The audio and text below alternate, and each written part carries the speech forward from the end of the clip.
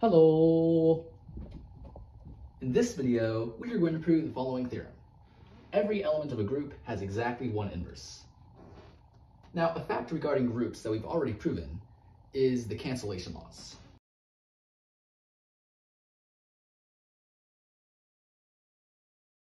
And this is what the cancellation laws say. Suppose G is a group and A, B, and C are elements of G. If AB equals AC, then B is equal to C. If BA is equal to CA, then B is equal to C. Okay, so now let's get to proving this theorem. So to start out the proof, let's say that we have a group G with identity E.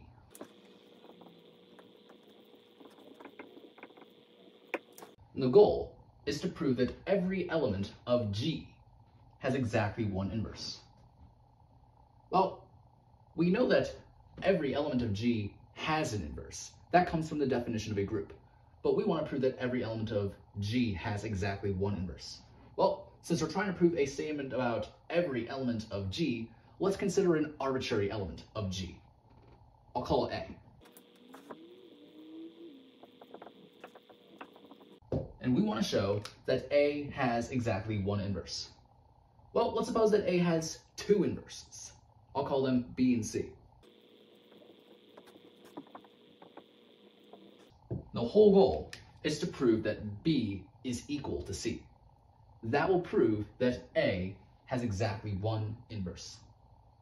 Well, by definition of inverse, to say that B is an inverse of A means that AB is equal to E, which is equal to BA.